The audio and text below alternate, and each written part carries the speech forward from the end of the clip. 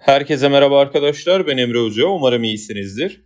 Bu dersimizde Türk Dili ve Edebiyatı ile ilgili bir deneme çözümü yapacağız. Serimizin 45. denemesi olacak ve bu denemede kendi soru tahminlerime de yer vermeye çalışacağım.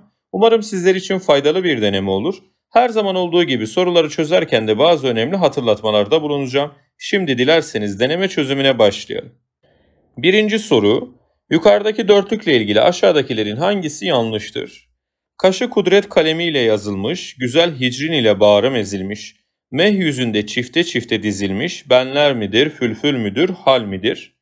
Şimdi nazım türü bakımından güzellemedir denilmiş. Arkadaşlar türü belirleyecek olan şey şiirde işlenen konudur. Burada sevgiliye dair ögeler görmekteyiz. Dolayısıyla bu da türünü güzelleme yapar ki bu doğru. 6 artı 5 şeklinde durak düzeni vardır. Şimdi şiiri incelediğimizde 11'li hece ölçüsünün kullanıldığını görüyoruz ama durak şeklimiz 6 artı 5 değil. Buraya tekrar geri döneceğiz. Ahenk unsuru olarak redif kullanılmıştır. Arkadaşlar redif mısra sonlarında benzer kelimelerde bulunan görev ve yazım bakımından aynı olan ekleri ifade eder. Burada da yazılmış, ezilmiş, dizilmiş sözcüklerini görüyoruz. Ki yazmak, ezmek, dizmek köktür. Geri kalan eklerimiz de yazım ve anlam bakımından aynı olduğu için arkadaşlar rediftir. Dolayısıyla C seçeneği doğru. İstifham sanatına yer verilmiştir. İstifham şiirde soru sormak demektir. Benler midir, fülfül müdür, hal midir ifadelerinde soru sorulduğunu görüyoruz. Düz kafiye şemasından yararlanılmıştır.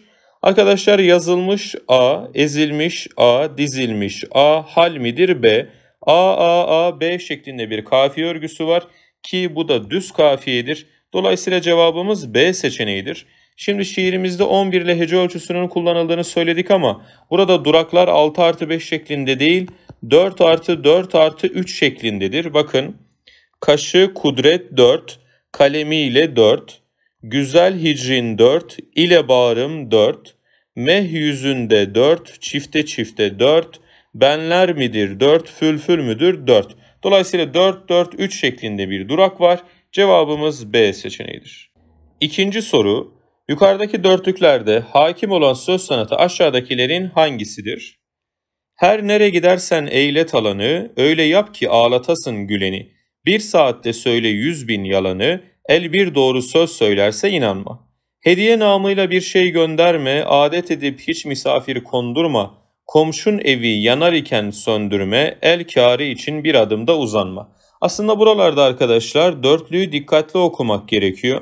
Yani şair burada her nere gidersen eyle talanı ya da öyle yap ki ağlatasın güleni bunu salık vermiyor. Yani bunu öğütlemiyor. Karşıdaki kişi sürekli böyle yaptığı için aslında bir tersten e, sözün tam tersini kastederek bir iğneleme söz konusu.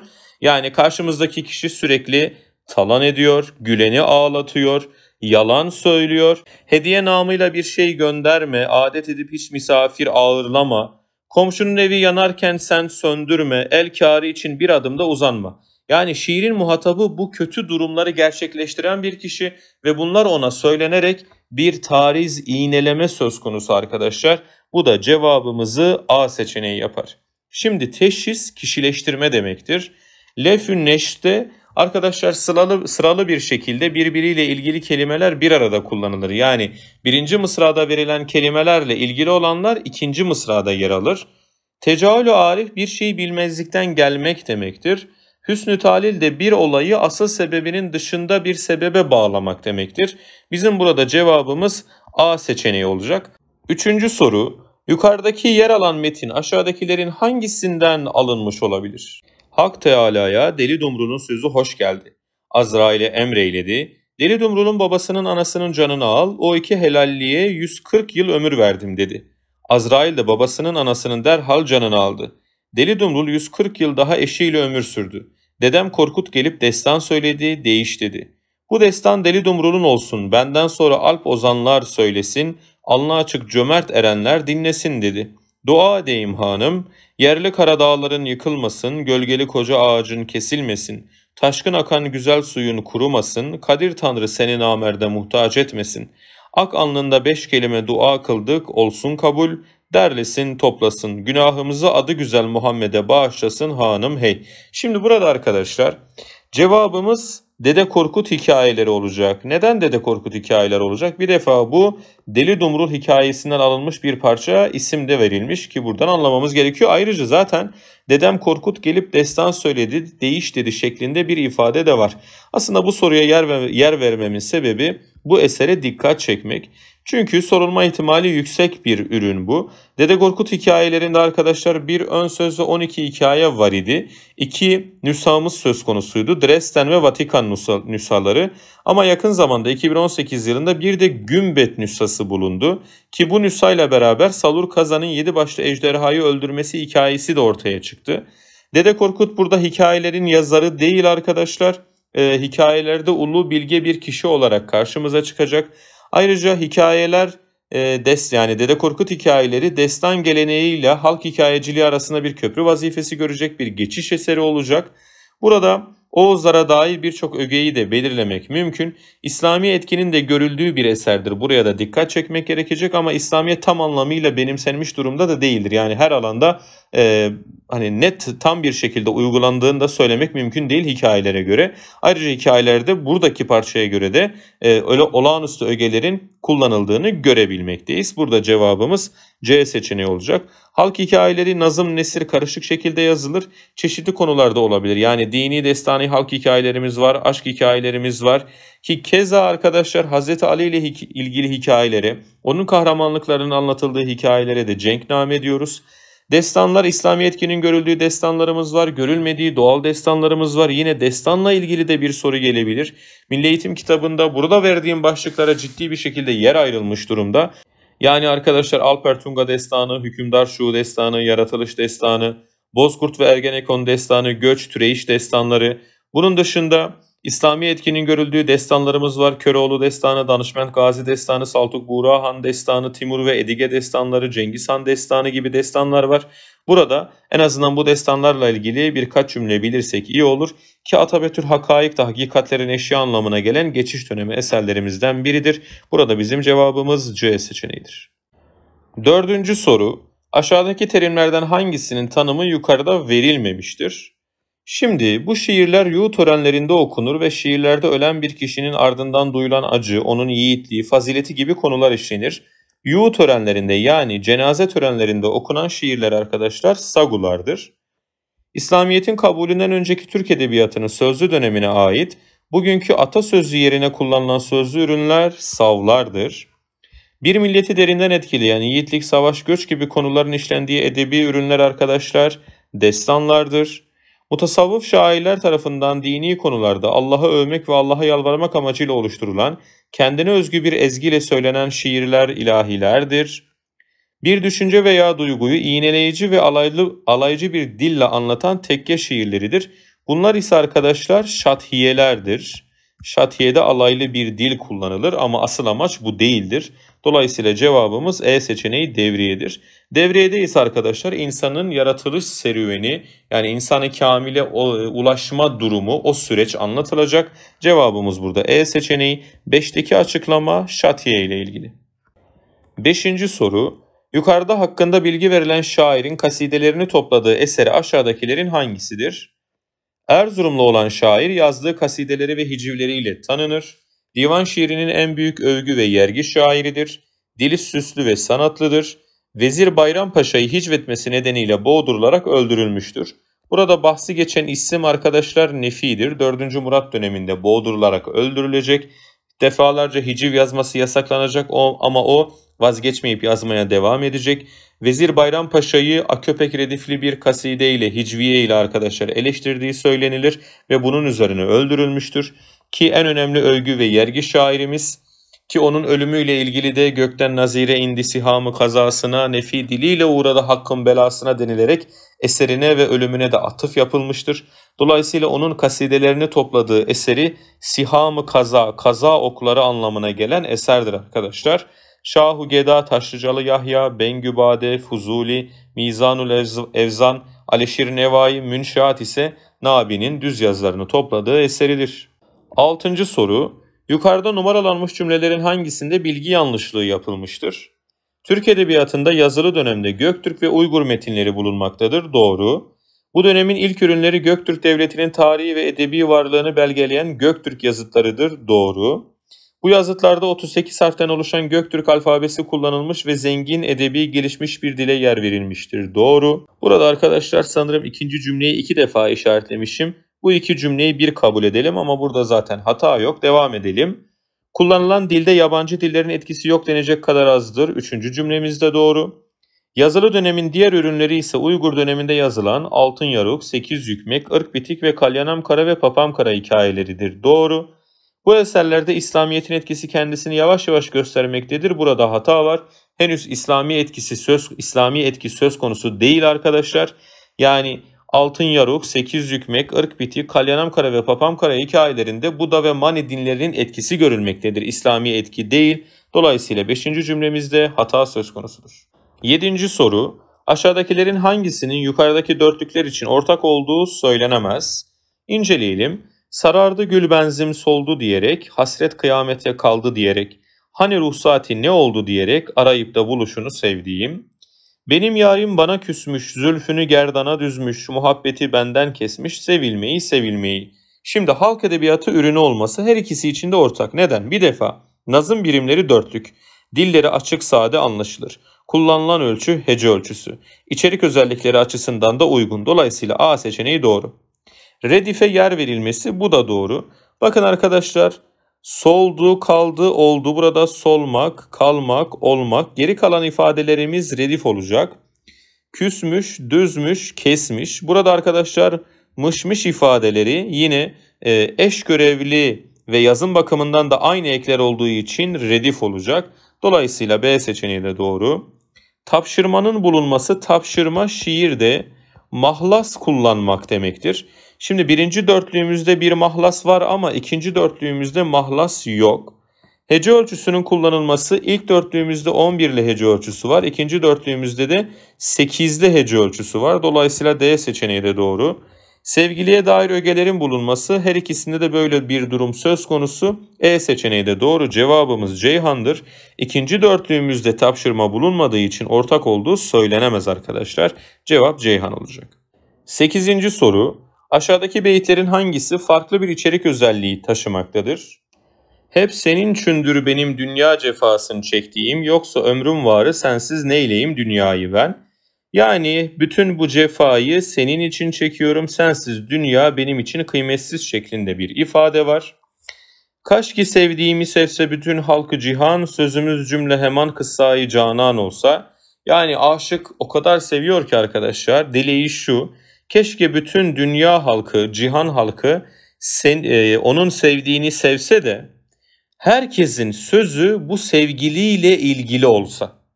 Dolayısıyla yine birdeki konuyla benzer her ikisinde de sevgiliye dair ögeler vardı.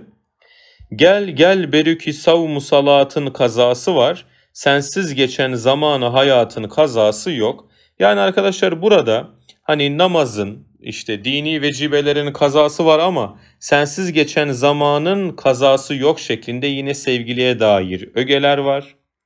Gören sanır ki safadan semayı rah ederim, döner döner bakarım kuyu yara ah ederim. Şimdi dışarıdan bakan e, aşığı sema eder vaziyette görecek. Halbuki aşık hani bunu yap bu aşığın bunu yapma sebebi sevgilinin sokağına bakmaktır. Yani aşık dönüp dönüp bu sokağa bakıyor ki sevgiliye dair bir iz var mı? Yine sevgiliyle ilgili bir beyit olduğu. Seyrette hava üzere denir tahtı Süleyman, ol saltanatın yerler eser şimdi yerinde. Bakın burada Süleyman e, Süleyman peygamberle ilgili arkadaşlar bir e, telmih söz konusu. E, onun işte hayvanlara, rüzgara çeşitli şekillerde hakim olduğu rivayet edilir. Ki buna rağmen saltanatından bugün herhangi bir iz yoktur. Yani hikmetli bir söz var aslında sevgiliye dair bir şey yok. İçerik özellikleri açısından ilk dört seçenek benzerken E seçeneği farklılık arz ediyor. Cevabımız Edirne'dir. Dokuzuncu soru. Bu parçada bilgi verilen eserler aşağıdakilerin hangisinde sırasıyla verilmiştir? Eser 11. yüzyılda Karahanlı Türkçesi ile Yusuf Has Hacip tarafından yazılır ve Tabgaç Buğra Han'a sunulur. Alegorik bir eserdir ve ilk mesnevi olma özelliği taşır. Eserde sembolik karakterler üzerinden iyi bir yönetimin nasıl olması gerektiği anlatılır. Ki bunlar arkadaşlar e, Kün Togdu, Aytoldu, Odgurmuş, Ögdülmüş gibi karakterlerdir. E, çeşitli kavramları temsil ederler. Burada bahsi geçen eser Kutat Kubilik'tir. Hoca Ahmet Yesevi'nin Hikmet adlı şiirleri öğrencileri tarafından bir araya getirilir ve Türk tasavvuf edebiyatının bilinen en eski örneklerini içeren eser ortaya çıkar. Allah aşkı ve peygamber sevgisi işlenen bu eserde hece ve aruz ölçüsü kullanılır. Buradaki eserimiz de arkadaşlar divanı hikmettir. Şimdi bunun doğru şekilde verildiği yani önce Kutat Kubilik daha sonra divanı hikmetin verildiği seçeneğimiz D seçeneğidir. Geçiş döneminin diğer ürünleri nelerdir? Edip Ahmet Yükneki'nin Atabetül Hakayık, hakikatlerin eşiği anlamına gelir ve Kaşgarlı Mahmud'un Divan-ı Lugati Türk adlı eseridir arkadaşlar. 10. soru. Yukarıda içerik özellikleri verilen eser aşağıdakilerin hangisidir? Tanzimat döneminin önemli bir eseri, eseri olan bu romanda dış dünyaya karşı tecrübesiz olan Ali Bey'in yaşadıkları karşısında dersler çıkararak olgunlaşmaya başlaması ve yaşadığı acı, acı tecrübelerin ruhunda sebep olduğu yıkımlar anlatılmaktadır. Eser romantik bir aşk trajedisidir ve kin, kıskançlık, öç alma ve iftira gibi ögelerle iyi kötü tezatı üzerine kurgulanır. Ali Bey, Dilaşup ve Mahbeker üçgeninde geçen bir olaydır bu arkadaşlar ve cevabımız D seçeneğidir. Türk Edebiyatı'nın ayrıca ilk edebi romanı kabul edilmektedir. Namık Kemal'in eseridir arkadaşlar. Sergüzeş Sami Paşazade Sezai'nin Dilber adlı bir cariyenin hayatını anlattığı eseridir. Cezmi ilk tarihi roman Namık Kemal'indir. Araba Sevdası Bihruz Bey Recaizade Mahmut Ekrem'in eseridir. Taşuku Talat ve Fitnat arkadaşlar ilk yerli romanımızdır. Şemsettin Sami'ye aittir. 11. soru. Yukarıda eserleriyle ilgili bilgi verilen sanatçı aşağıdakilerin hangisidir? Şimdi tarihi 1980 yazmışım ama arkadaşlar burada bir hata var. 1890 olacak. 1890 yılında yayımladığı ve hakiki yön şeklinde tanımladığı Karabibik adlı eseri ilk köy romanı olma özelliği taşır. Bunun dışında Türk Edebiyatı'nda psikolojik ögelerin kullanıldığı ilk roman kabul edilen Zehra isimli romanı kaleme alır. Romanda kıskançlığın sebep olduğu bir aile faciası anlatılır. Şimdi arkadaşlar Karabibik ve Zehra isimli romanlarımız Nabizade Nazım'a aittir. Yine Nabizade Nazım'ın Zehra isimli eserinde diğer Karabibik adlı eserde naturalizme dair ögelerde görebilmekteyiz. Hüseyin Cahit Yalçın'ı edebiyat ve hukuk adlı makaleyle hatırlamalıyız. Namık Kemal'i Cezmi, Vatan Yahu Silistre, İntibah gibi eserlerle hatırlayacağız. Şemsettin Sami'de arkadaşlar e, dil alanındaki yaptığı çalışmaları hatırlamak lazım. Taşuk Talat ve Fitnat romanını hatırlamak lazım. Recaizade Mahmut Ekrem'de Araba Sevdası gibi ilk realist roman olma özelliği taşıyan bir eser var. Bu noktada dikkatli olalım. 12. soru. Yukarıda verilen bilgiler aşağıdakilerin hangisine aittir? Servet Üfü'nün sanatçıları içerisinde dil konusunda en çok eleştirilen bu sanatçı eserlerinde toplumsal konulara hiç değinmemiştir. Bireysel bir sanat anlayışına sahiptir. Özellikle dil noktasındaki tavrı bu eleştirilerin asıl sebebidir. O güne kadar pek kullanılmayan sözcük ve tamlamalara yer vermesi dili oldukça ağırlaştırmıştır. Sanatçı sembolizm ve parnasizm akımlarının etkisindedir. Şimdi arkadaşlar burada toplumsal konulara genelde değinmeyen, dil konusunda e, ağır bir tercihte bulunan yani o güne kadar pek kullanılmayan sözcüklere, e, kelime tamlamalarına yer veren isim Cenab Şehabettin'dir. Servet Üfünun'un en önemli iki şairinden biridir. Diğer isim Tevfik Fikret. Arkadaşlar Tevfik Fikret 1901'den e, sonra yani Servet Üfünun topluluğu dağıldıktan sonra toplumsal konuları da ele alan şiirler yazmıştır. Yani İstanbul'u eleştirdiği şiiri var. Din kavramını eleştirdiği şiiri var. Tarihi Kadim, Sis şiiri, 95'e şi 95'e doğru şiiri, e, balıkçılar şiiri, hasta çocuk şiiri. Bütün bunlar onda toplumsal ögelerin olduğunu gösterir. Mehmet Rauf arkadaşlar Eylül romanının yazarıdır. Halit Ziya Uşaklıgil'de Aşkı Memnu, Kırık Hayatlar, Mavi ve Siyah gibi eserlerimiz var. Yine Saffet-i Ziya da arkadaşlar Servet-i dönemindeki sanatçılarımızdan biridir ama diğerlerine nazaran sorulma ihtimali daha zayıftır. 13. soru. Bu parçada söz edilen eserleri yazan sanatçılar aşağıdakilerin hangisinde sırasıyla verilmiştir?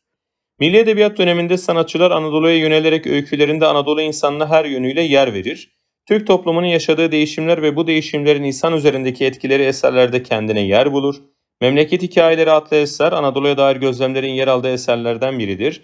Tanrı Misafiri ve Bir Serencam isimli eserler de bu dönem anlayışına bağlı sanatçılar tarafından kaleme alınmıştır. Arkadaşlar memleket hikayeleri Refik Halit Karayın'dır. Yine onun Gurbet Hikayeleri isimli eserini de hatırlamalıyız.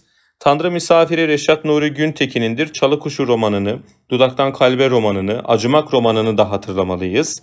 Bir Serencam Yakup Kadri Karaosmanoğlu'nundur. Yine onda Yaban, Kiralık Konak, Sodom ve Gomorra gibi eserleri de hatırlamalıyız. Dolayısıyla sıralama ne olacak? Refik Halit Karay, Reşat Nuri Güntekin ve Yakup Kadri Karaosmanoğlu olacak. Bu da cevabımızı E seçeneği yapar. 14. soru. Parçadaki boşluğa aşağıdaki isimlerden hangisi getirilemez? Modernist eğilim taşıyan eserler toplumla beraber bireyi de önemser. Bireyin iş dünyasının karmaşıklığından hareketle gerçekliğe ulaşmaya çalışan bu anlayışın izlerini atlı sanatçının eserlerinde görmek mümkündür. Arkadaşlar Ferit Etgü, Nezihe Meriç, Pınar Kür, Yusuf Atılgan, modernizm etkisinde, Cumhuriyet döneminde modernizmin etkisinde eserler veren sanatçılarımızdandır. Dolayısıyla buradaki boşluğa getirilebilirler. Ama burada Talip Apaydın köy edebiyatı ile ilgili eserler veren toplumcu gerçekçi bir isimdir. Yani modernist eğilim taşıyarak sadece bireyin iş dünyasının karmaşıklığını ele alan bir isim değildir. Ki onun Sarı Traktör isimli eserini de hemen hatırlamak gerekir. Dolayısıyla cevabımız D seçeneği olacak. Arkadaşlar Ferit Etgü'de Hakkari'de bir mevsim, bir gemide isimli eserler. Nezihe Meriç'te Korsan Çıkmazı, Pınar Kür'de Asılacak Kadın bir cinayet romanı, Yusuf Atılgan'da Anayurt Oteli, Aylak Adam gibi eserleri mutlaka hatırlamalıyız. 15. soru. Yukarıdaki bilgiler aşağıdaki sanatçılardan hangisine aittir? Tanzimat Edebiyatı'nın ikinci dönem sanatçılarından olan şair, şiirde asıl yeniliği gerçekleştiren isim kabul edilir. Validem ve Sahra gibi eserleri onun yenilikçi yönünü ortaya koyan eserlerdir. Metafizik konuları, ölümü şiirde işleyerek felsefi şiirler yazmıştır. Tiyatrolarında ise hem aruzu hem heceyi kullanır. Arkadaşlar hakkında bilgi verilen isim Tanzimat'ın ikinci dönem şairlerinden Abdullah Hamit Tarhan'dır ki tezat şairi olarak da bilinir. İlk kafiyesiz şiir validemdir. Sahra modern anlamda ilk pastoral şiirdir. Nesteren Hece ile yazılan ilk tiyatrodur. Eşber Aruz'la yazılan ilk tiyatrodur. Ki onun önemli bir de şiiri daha var. O da nedir? Makber'dir. Eşi Fatma Hanım'ın ölümü üzerine yazdığı bir eserdir. Tiyatroları genelde okunmak içindir. Sahnelenme tekniğine uygun değildir. Şiirde asıl yeniliği gerçekleştiren isim olarak kabul edilir. Cevabımız C seçeneğidir. 16. soru. Yukarıdaki parçada öne çıkan anlatım tekniği aşağıdakilerin hangisidir? Bir ara karıncaları düşündü, yağmur dinince saklandıkları yerlerden çıkıp tatlıcının tek parça, büyük camından gördüğü caddeleri dolduranlar bir çalışma, didinme mutluluğu içinde yürür gibiydiler. Yarım saat önce girdiği bu tatlıcı dükkanından önündeki küçük alanda değneğini sallayan trafik polisini görünce çok eskiden gene burada oturduğu bir günü hatırlamış, bir bardak portakal suyu içmiş, sağındaki kar yağdı paltolu adamın baklava yediğini bilmekten gelen iç bulantısıyla başkalarının iştahla yiyebilmeleri alçakça bir haksızlıktı. Yağmur dinince çıkıp bir sinemaya gitmek kararını vermişti. Oysa şimdi karıncaları düşünüyordu. Burada arkadaşlar kahramanın iş dünyası ile ilgili bilgiler var. Onun zihninden geçenler bizlere aktarılıyor. Dolayısıyla bu ancak iç çözümleme olabilir. Pastiş ve parodide taklit söz konusudur. Eğer bu taklit arkadaşlar alaylı bir şekilde olursa parodi olur. Ama alay söz konusu değilse pastiş olur ki parodi sadece konu ile ilgilidir. Leitmotif'te eserde e, çeşitli şekillerde bir sözün, söz grubunun ya da bir hareketin dikkat çekici şekilde tekrar edilmesidir. Metinler arasılıkta metin içerisinde farklı metin türlerinden parçalara yer vermeyi ifade eder. Dolayısıyla cevabımız A seçeneğidir. 17. soru. Aşağıdaki eserlerden hangisi bu anlayışla yazılmamıştır? 1940'lı yıllardan itibaren romanda gerçekçiliğin bir uzantısı olarak değerlendirilen köy ve köy insanına yöneliş başlar. Bu tür romanlar konularını daha çok toprağa bağlı insanların hayatlarından alır. 1950'li yıllardan sonra köylünün kente yönelişinin hikayesini anlatan eserler yazılır. Şimdi bir köy edebiyatı söz konusu ve bu anlayışa bağlı olmayan eseri arıyoruz. Burada Sarı Traktör Talip Apaydın, Yılanların Öcü Fakir Baykurt, Bereketli Topraklar Üzerinde Orhan Kemal, Yılkı Atı Abbas Sayar, Yalnız arkadaşlar Kılavuz Bilge Karasu'ya aittir ve modernist bir sanatçıdır. Köy edebiyatı söz konusu değildir. Cevabımız B seçeneğidir. 18. soru. Bu parçada hakkında bilgi verilen şair aşağıdakilerin hangisidir? Toplumcu gerçekçi şairlerin önde gelen isimlerinden olan şair, sosyal temalara yer veren şiirlerinin yanı sıra bireysel temaların öne çıktığı şiirler de yazar. Acı Ninni toplumsal temaları öne çıkardığı şiirlerinden biridir. Şiirde halkın özellikle İstanbul halkının çalışan insanların üzerine çökmüş olan tepkisizliği anlatmıştır. Şair şiirlerinde genellikle büyük harf kullanmamış ve noktalama işaretlerine fazla yer vermemiştir. Özellikle son bölüme ve şu esere dikkat etmemiz gerekiyor. Burada karşımıza çıkacak olan isim arkadaşlar B seçeneğinde yer alan Atilla İlhan'dır.